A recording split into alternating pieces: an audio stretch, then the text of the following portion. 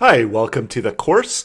This lesson, we're going to set up our web development environment. So that means that we need to have an HTML file. So I've opened up Brackets, which is the editor that I'm going to be using. You can use any editor that you want if you're interested in using Brackets as well. It's available at Brackets.io. It's a free editor that you can download. It's an Adobe product, and it's a pretty good editor if you're looking to try something new or if you want to use the exact same one that I'm using within the course.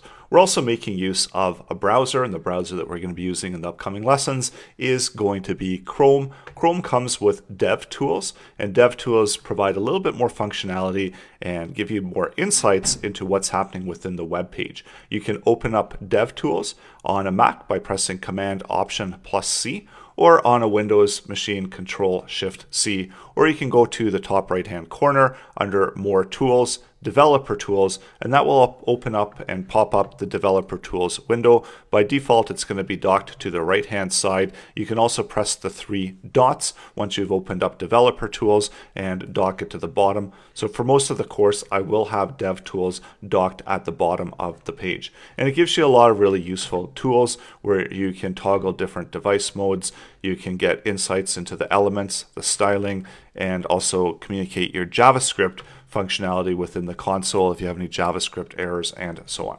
So we're going to start by creating an index page. So open up your editor and create a brand new file. And then you can just call this file index.html. So this is going to serve as a core file for our index content and our application. And start by creating, setting up the doc type. And the doc type is just going to be HTML. And then HTML tags, open and close your HTML tags. Open and close your head tags. Open and set up your title tags. So call it JavaScript, JavaScript Blackjack game. And then within the body, set up the body tags. And within inside the body, you can set up a div and give the div an ID and just call that game. So this is where all of the game content is going to go. And as well, we're going to link out to uh, an H a JavaScript file as well as a style file. So we're going to set those up in the next lesson. And once you've set up your base HTML file, you're going to be ready to move on to the next lesson.